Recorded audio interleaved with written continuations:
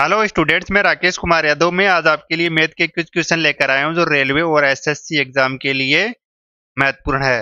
वह अधिकतम संभव लंबाई ज्ञात कीजिए, जिसका उपयोग 5 मीटर 25 सेंटीमीटर 7 मीटर 35 सेंटीमीटर और 4 मीटर 90 सेंटीमीटर की लंबाइयों को पूर्णतः मापा जा सके। तो इसको मीटर को अपन सेंटीमीटर में बदल लेते हैं, बदल लेते हैं।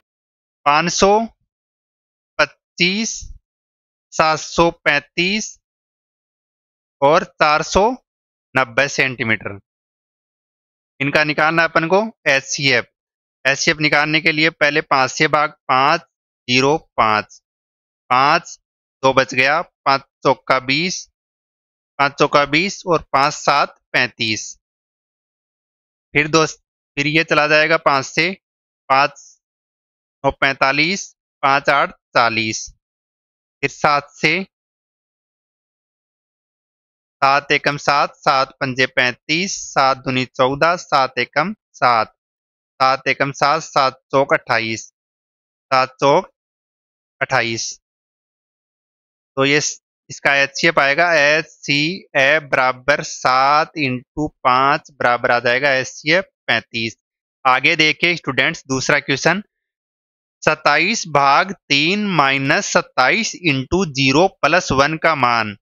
तो बोर्ड मास के नियम से होता है V B O D M A S तो वी का मतलब है नकुलम्बार फिर ब्रैकेट ओ का मतलब का डी का मतलब डिवीज़न एम का मतलब मल्टीपल ए का मतलब एडिशन एस का मतलब सब्सक्रिप्शन तो पहले भाग, सत्ताईस में तीन का भाग देंगे तो आएगा नौ माइनस सत्ताईस को ज़ीरो से मल्टीप्लाई करेंगे तो आएगा ज़ीरो प्लस वन। तो इसका मान जाएगा नौ प्लस एक, दस से। आगे देखे स्टूडेंट्स तीसरा क्वेश्चन चौतरपा यात्रा के दौरान गौरव की औसत चाल 25 किलोमीटर प्रति घंटा है। यदि वह जाते समय 20 किलोमीटर प्रति घंटे की दूरी से तय करता है तो लौटते समय उसकी दूरी क्या होगी? तो औसत चाल का फॉर्मूला होता है, औसत औसत चाल औसत चाल बराबर होता है दो अक्स वाई बटा एक्स प्लस वाई। तो औसत कितना दिया हुआ है उसको? औसत चाल पंद्रह, ये हो जाएगी दो। एक कितनी दे रही है? बीस। वाई का मान निकालना है तो नीचे हो जाएगा बीस प्लस वाई बीस प्लस वाई तो ये हो जाएगा बीस दुना, ये हो जाएगा इस साइड बीस दुना चालीस।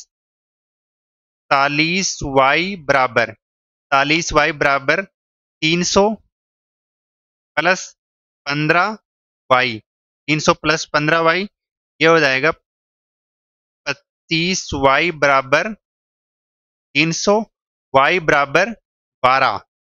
आगे देखिए स्टूडेंट्स, चौथा क्वेश्चन, यदि x plus y plus z बराबर ग्यारह x y plus y z plus z x बराबर बयालीस तो x square plus y square plus z square का मान तो x square x x square plus y square plus z square z square इसका अपन को क्या पूछा है? मान तो एक फॉर्मूला होता है। X x plus y plus z का स्क्वायर ये होता है x square plus y square plus z square plus two x y plus y z plus z x तो अपन को इसका मान निकालना है तो इसका मान पहले अपन को इसका ग्यारह का हो जाएगा। 121 बराबर अक्स प्लस दो। X y plus y z plus z x का मान कितना है? बयालीस। तो ये हो जाएगा अक्स बराबर 121 माइनस चौरासी। अक्स बराबर सैतालीस। अक्स बराबर सैतीस आगे देखे स्टूडेंट्स पांचवा क्वेश्चन पी और क्यों अकेले किसी काम को नौ और बारह दिन में कर सकते हैं।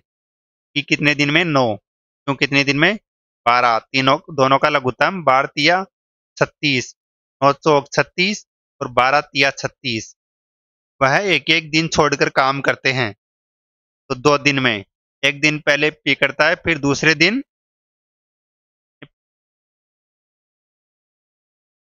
एक दिन पहले क्यों करता है, फिर दूसरे दिन, एक दिन पहले क्यों करता है, फिर दूसरे दिन पी करता है।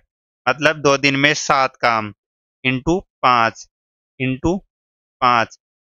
दस दिन के अंदर पैंतीस काम कर रहे हैं। आगे कितना दिन बचा? दस दिन। आगे कितना काम बचा? एक काम कौन करेगा? क्यों करेगा? दस सही एक बटा तीन दिन। आगे देखिए स्टूडेंट्स ज़ीरो पॉइंट छ प्लस रूट ज़ीरो पॉइंट इक्यासी। तो ज़ीरो पॉइंट छ प्लस मजला कोष्टक, इक्यासी का मान आ जाएगा ज़ीरो पॉइंट नौ माइनस ज़ीरो पॉइंट ज़ीरो एक सौ इकतालीस का मान आ जाएगा ज़ीरो पॉइंट बारह प्लस इसके अंदर ज़ीरो पॉइंट चार में ज़ीरो पॉइंट पाँच का भाग देंगे तो आएगा ज़ीरो पॉइंट आठ ज़ीरो पॉइंट आठ, ये मजला ये बड़ा। ये हो जाएगा ज़ीरो पॉइंट छ प्लस ज़ीरो पॉइंट नौ माइनस ज़ीरो पॉइंट बारह और ज़ीरो पॉइंट आठ का मान हो जाएगा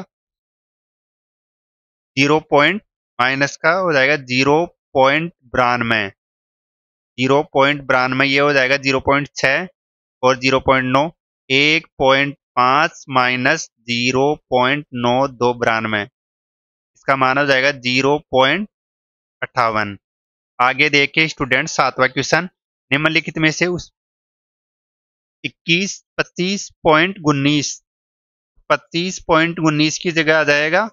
पच्चीस का पच्चीस लगभग करना है इंटू तीन प्लस चार पॉइंट इकतालीस, चार पॉइंट इकतालीस की जगह आ जाएगा चार माइनस ज़ीरो पॉइंट नौ की जगह आ जाएगा एक।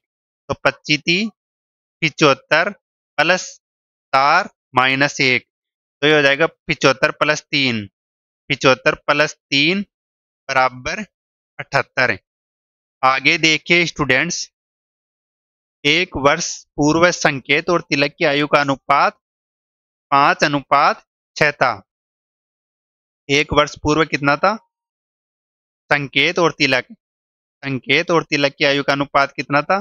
पाँच अनुपात छह, एक वर्ष पूर्व चार वर्ष बाद अब चार वर्ष बाद कितना हो जाएगा? छह अनुपात सात। तो यहाँ हो जाएगा पाँच। एक अनुपात बराबर कितना? पाँच तो पहले था छह पंजू तीस और पचम पच्चीस। एक वर्ष पूर्व है। अब एक अब एक वर्ष बाद हो जाएगा ये छब्बीस और इकतीस। संकेत की पूछा है। संकेत की छब्बीस वर्ष। आगे देखे स्टूडेंट्स, नोवा क्वेश्चन। यदि किसी घन का एक फलक का परिमाप चौबीस सेंटीमीटर है तो उसका आयतन, घन का एक फलक का परिमाप कितना है? चौबीस सेंटीमीटर। तो घन के कितनी भुजा होती है? चौबीस भाग तार। ये हो जाएगा छह सेंटीमीटर, उसकी हो जाएगी भुजा। तो गन का आयतन होता है एक क्यूब। तो छह का क्यूब, छह का क्यूब होता है 216 सेंटीमीटर क्यूब। आगे देखिए स्टूडेंट्स दसवा क्वेश्चन 36 सेंटीमीटर को किलोमीटर में बदलो। तो 36 सेंटीमीटर सेंटीमीटर को पहले मीटर में बदलने पर सौ का भाग देते हैं। छत्तीस भाग सौ मीटर अब छत्तीस बटा सौ को मीटर को अब किलोमीटर में बदलने के लिए एक एक बटा हज़ार का से मल्टीप्लाई करते हैं। तो हो जाएगा छत्तीस बटा सौ इंटू एक, सौ इंटू एक हज़ार। तो ये हो जाएगा zero point zero point zero zero zero zero point zero zero zero three six kilometre. धन्यवाद स्टूडेंट्स, चैनल को लाइक, शेयर, सब्सक्राइब करिए ज़्यादा से ज़्यादा।